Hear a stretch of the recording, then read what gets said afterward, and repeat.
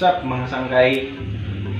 So, ngayon, bali, ngayon na matutuloy na yung lakad namin ng misis ko sa Kagasagan Beach. So, ito yung babaunin namin, yung sobra ko gabi pagluto ng hapunan. So, ito, yung shrimp, yung maliit na karne, giniling, at saka yung pusit. At saka siyempre yung pansit, instant pansit canton. Gagawin nating ah, ma- ah, mas elegante at siyempre special. At ang ating ingredients ay bawang, siling labuyo, ah, sibuyas, carrots, at saka paminta, at cabbage. So, ito. So, una-unahin natin yung yung yung bawang. I-slice natin ng ganito. So, pasensya na kayo kasi hindi mata, uh, matalim yung kutsilyo natin. Ay, sibuyas pala.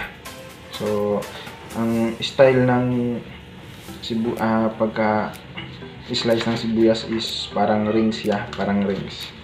Ah, yan. Lang, lang yan lang style. Iwan ko nung iba, ah, ibang mga cook kung anong kung anong style nila. So hindi talaga ako magaling mag-cook.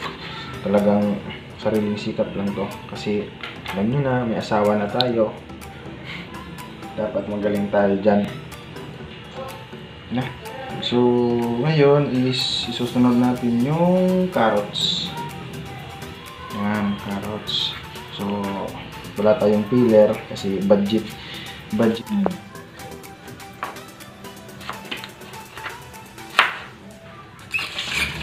So ngayon is yung siling labuyo. Ganyan yung pa-slice islanting para maganda tingnan. Islanting yung um,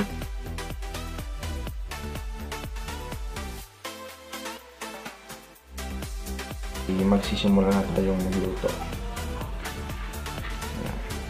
Tapon na natin ito. So, click.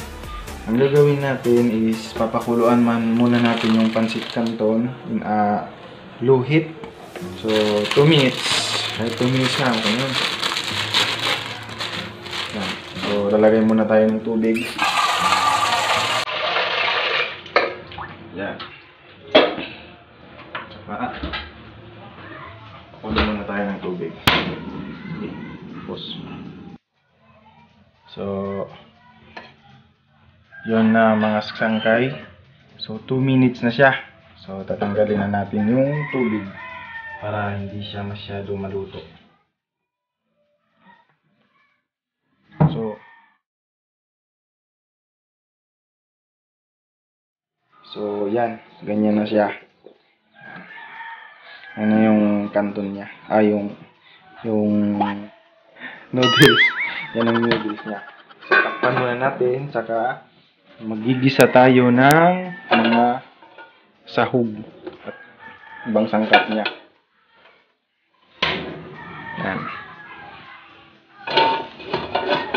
So, ganun, di, ganun pa rin. Wala tayong, wala tayong kutsara pa rin yung gagamitin natin. So, ang paggisa nito is uunahin yung yung mga ma mahirap maluto ng ga- ganito, ganito, carrots, tsaka tsaka yung bawang. Yan. Tsaka sunod natin yung sibuyas at tsaka siling labuyo. Okay. So, hintayin muna natin mawala yung tubig. Tsaka, lagyan na natin ng mantika. To, mantika na tadikuko. Umulit na yung mantika natin pero pwede ba to?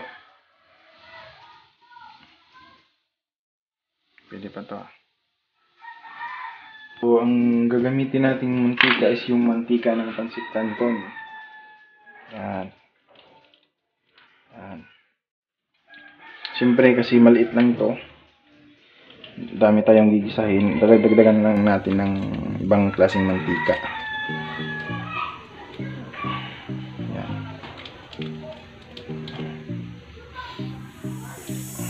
Yan. Tapos, lagyan natin ng additional na mantika.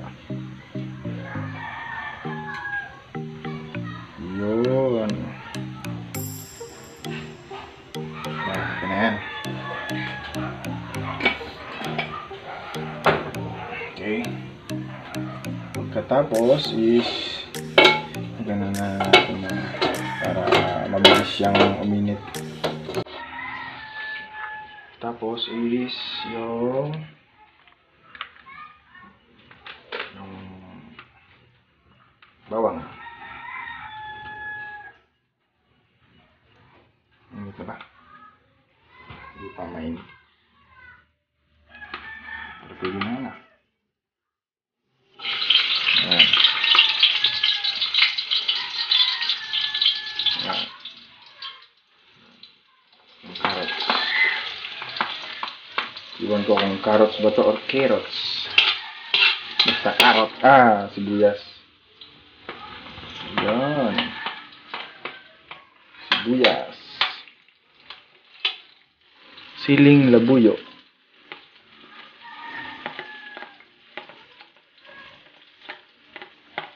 Tsaka yung karne, karne. Para yung mantika niya is isa rin na makakadagdag at makakaluto sa sa mga sangkap o ingredients.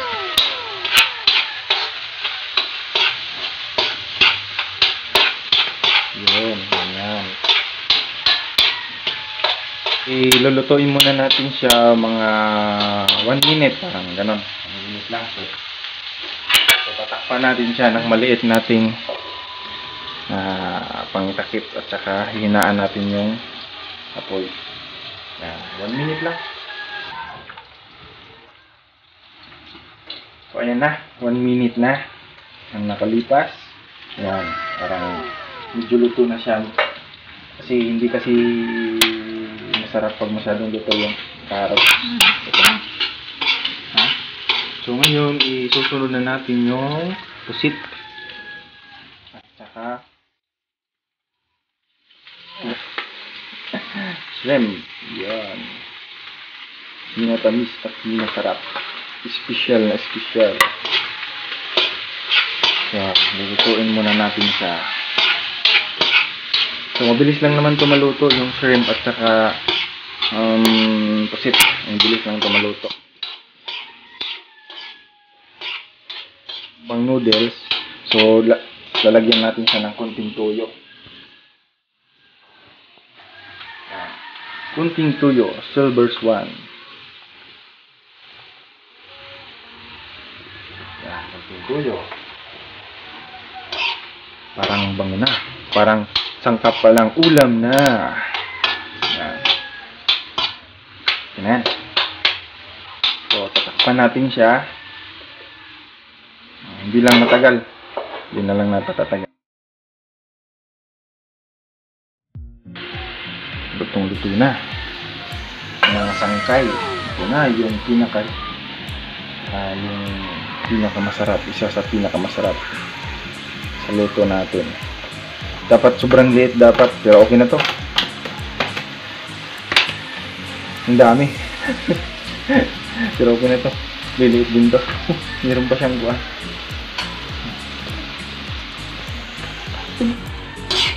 Yan, yan na yung malapit na tayo sa katotohanan. So, ito yung baon namin. Ayun, uh, maalis kami, hindi magtatagal, alas namin. Kasi doon lang kami kakain sa sa mayroong mga. Yan, yan. Yan. Malapit na, malapit na, malapit na. Maluto. So, tata lagyan natin ng takip.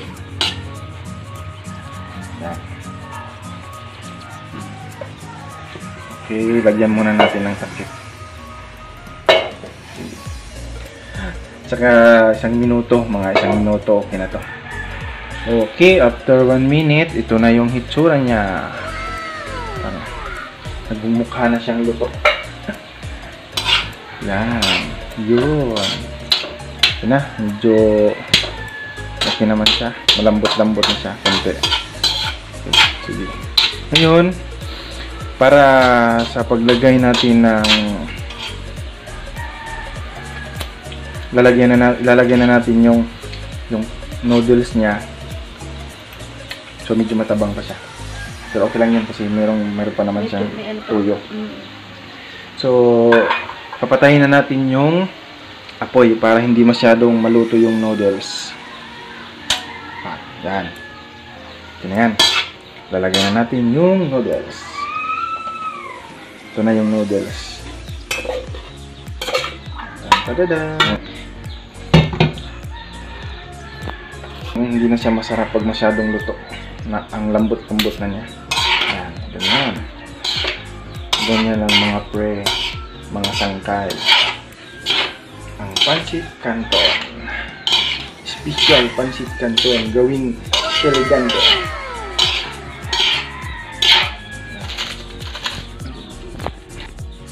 So ayan na guys, lagyan natin ng durog na paminta. Ah hindi to, ako na talaga nagdurog nito.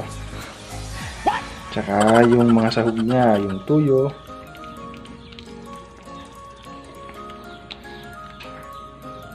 Soy sauce, yung laki ni soy sauce. Tsaka yung mga sahog niya.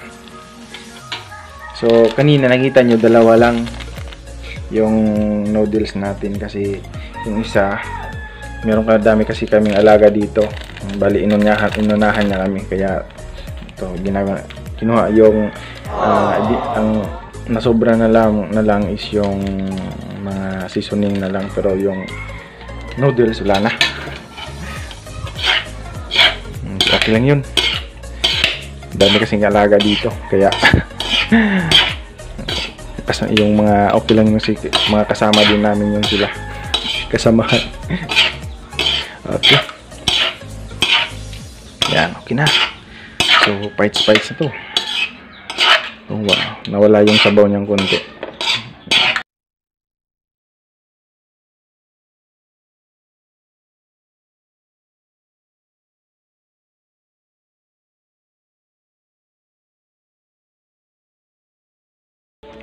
So, bye muna, tsaka um, salamat sa mga manonood.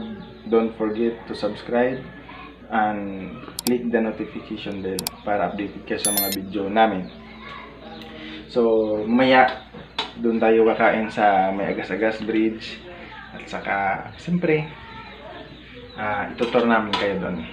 Okay, bye! Ay mga sanggay so bali doon yung gusto bumibili ng prutas. Doon siya bumibili ng prutas. Kasi gusto niya after kumain merong merong fruits nga nakakainin. So doon siya. So ngayon is is uh, pupunta na kami ng Agas-Agas Bridge. So siguro mga isang isang oras, isang oras bago kami nakarating. So ito na. So bye muna. Doon na lang tayo kita sa Agas-Agas Bridge. Hi mga sangkay. So nahihiya ako kanina mag-vlog kasi daming tao dito. First time ko kasi ma- To, papunta na kami ngayon sa Agas-Agas Bridge. Bali hin- hindi ko hindi ko ma hindi ko masabi kung kung ah bali yung motor namin doon. Nagmotor lang kami. Tsaka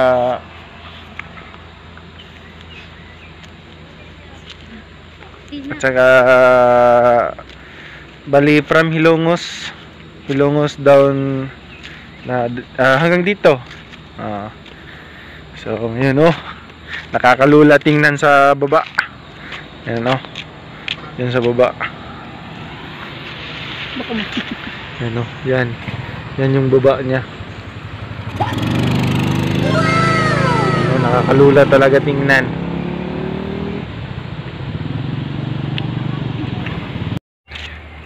Hi mga sangkay, dito na tayo sa kalagitnaan ng tulay. So, nakakalula tingnan sa baba. Oh, tingnan nyo. Oh.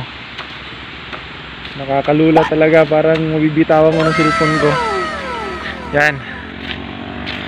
So, nakakahiya nga mag-vlog dito kasi daming tao. Yan, yan ang daming tao. Daming mga sasakyan na nagsisidaanan. So punta dito tayo dito sa kalagitnaan yung may ilo. Ilo na parang parang ewan ko parang basta mas makakalula siguro dito. Pader siya na ilo. Dyan dyan dyan dyan dyan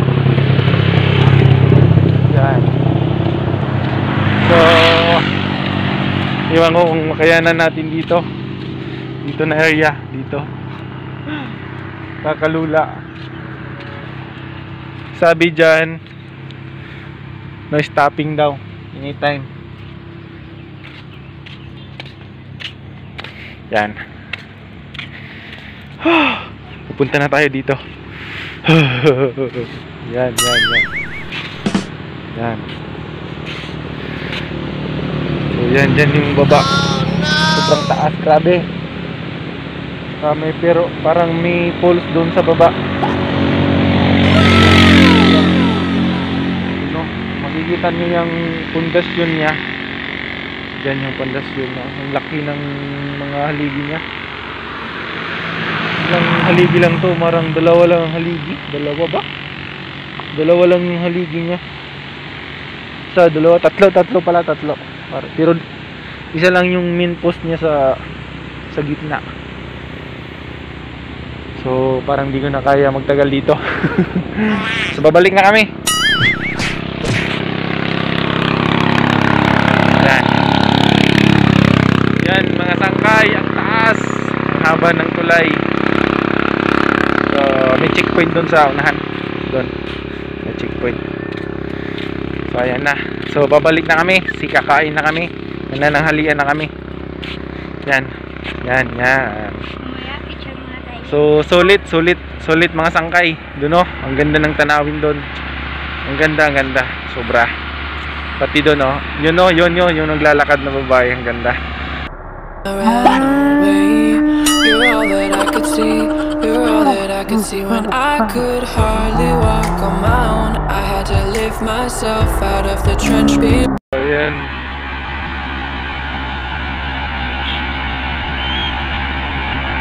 Oh, babalik na kami doon sa sa sa nakalag ka, kinalalagyan ng motor namin kasi nandun yung baon namin. Kakain na kami guys. Guys, mga sangkay, kakain na kami. So, balik na kami. Bye. So, Eh? So ayan na mga sangkay. Bali nakabalik na kami. Kakain na muna kami kasi gutom na gutom na ako. Mga isang oras mahigit yung biniyahe namin. So, yan na muna mga sangkay. Hey mga sangkay, ito na. Pauwi na kami. Oh, ready na yung motor namin. Pauwi na kami ng misis ko. So, salamat sa sa mga manonood. Salamat sa inyong lahat. Sana supportahan niyo ang channel namin dalawa. Food and Adventure Channel. Thank you.